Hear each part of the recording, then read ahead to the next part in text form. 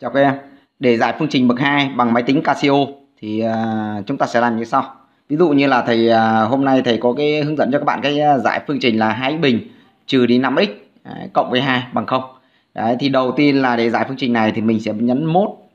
Sau đấy là các bạn chọn uh, cái chức năng số 5, tức là nó đề chữ eqn này. Đấy thì đây là chính là cái chức năng chúng ta giải phương trình hoặc hệ phương trình. Thì các bạn muốn giải phương trình bậc 2 thì các bạn chọn phím số 3 đấy sau đây các bạn nhấn các cái hệ số của cái phương trình này vào à, trong cái à, máy tính của chúng ta.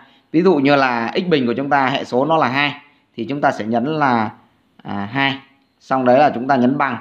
À, rồi à, cái hệ số của x của các bạn các bạn nhìn thấy là âm 5 như vậy chúng ta sẽ nhấn là trừ 5 đấy, và sau này các bạn lại nhấn bằng để chúng ta nhấn à, tiếp tục. Sau đây chúng ta nhấn cái hệ số của hệ số tự do của cái phương trình là 2 Đấy, và chúng ta lại nhấn phím bằng sau đấy các bạn nhấn cho thầy phím bằng nữa thì nó sẽ ra thí nghiệm thứ nhất của chúng ta của cái phương trình này nó giải ra là hai.